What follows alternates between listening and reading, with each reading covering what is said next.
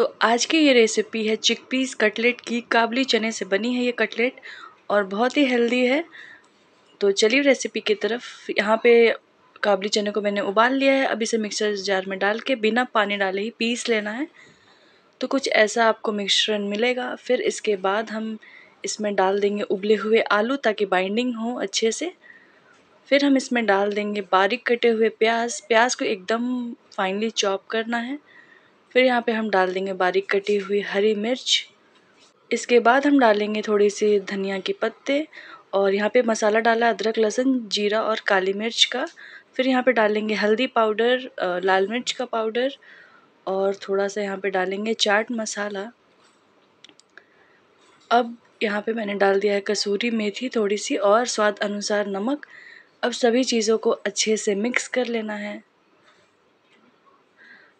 और मिक्स करेंगे जब तो देखेंगे एक बार बाइंडिंग आ रही है या नहीं। अगर नहीं तो फिर एक आलू और भी ऐड कर सकते मुझे यहाँ पे मसाले कम लग रहे थे, इसलिए मैंने थोड़े और ऐड कर लिए।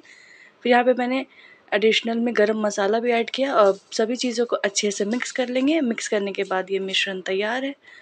अब छोटा सा एक पोर्शन लेना है। बॉल बनाना है नींबू के साइज़ के जितना। तो अच्छे से यहाँ पे ये राउंड कर लेना है। अब यहाँ पे हथेलिए के बीच में ऐसे रख के फ्लैट कर लेना है। और एजेस को स्मूथ कर लेना है ऐसे। तो यहाँ पे आप चाहें तो ऐसे भी रख सकते हैं शेप पर मैं यहाँ पे इसका शेप कुछ इस तरह से देने वाली हूँ कटलेट का जो शेप होता है ना, वो ऐसे। तो आप अपने मन पसंद कोई भी शेप बना सकते हैं तो सारे कटलेट को ऐसे ही रेडी करके रख लेना है। तो ये रेसिपी बहुत ही हेल्दी है, आप चाहें तो इसे फ्राई भी कर सकते हैं डीप फ्राई पर आप शैलो फ्राई करेंगे तो इसका रिज़ल्ट ज़्यादा अच्छा आएगा और ये बिखरेंगे भी नहीं। तो अब पैन को क्या करना है गर्म कर लेना है तेल डाल के और उसके बाद हमें एक एक करके सारे कटलेट्स को रख देंगे, जितना एक बार में आ जाए, चार से पाँच। तो यहाँ पे मैंने पाँच कटलेट रख दिए हैं और थोड़ा इसे अब सीखने देंगे। फ्लेम मीडियम ही रहेगी ज़्यादा हाई भी नहीं करना एकदम लो भी नहीं रखना है। तो जब ये इस तरफ़ से ये सीख जाए तो इसे पलट लेंगे और फिर दूसरे साइड से भी पकाएँगे और थोड़ा थोड़ा ऑयल यहाँ पे डालते जाएँगे।